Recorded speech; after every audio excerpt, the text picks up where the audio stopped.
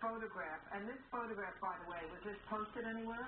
Yes, it was posted um, on the window of the shop, and so anyone walking by could see it. Especially my coworkers, they thought it was great. They had a good laugh about it. All right, I also heard The court is now looking at a photograph that appears to be you. Not looking very happy. And the word thief is in large red letters Yes. at the bottom of the photograph. I call it as I see it.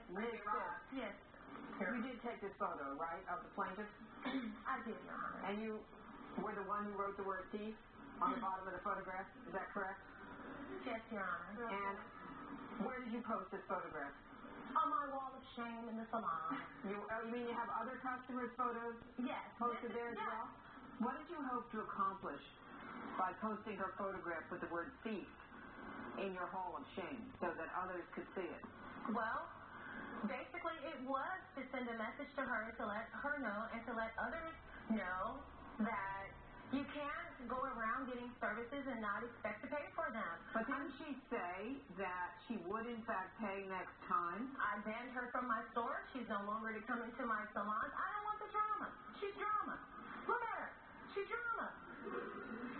All right, now, Ms. Davenport, you are seeking $2,500. Absolutely. How do you come up with that number? Yeah. Well, I have missed out. I was supposed to be promoted. I am currently a host, and I was going to be promoted to server.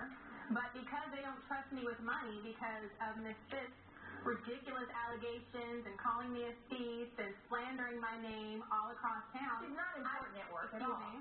She- what? I'm important to everyone. You're a Get host. your life together. You're a hostess. I- she is fabulous. You're a Okay, she's a fabulous. All right, hostess. That'll be enough. I'm asking to answer the question. Sorry, I can't. did you come up with the number $2,500 that you're asking the court Well, to the order me to send manager it cost twenty-five dollars, and I've at least suffered a hundred times more than that. I can't believe I'm being teased by strangers because of what she did, and it's wrong, and she should pay.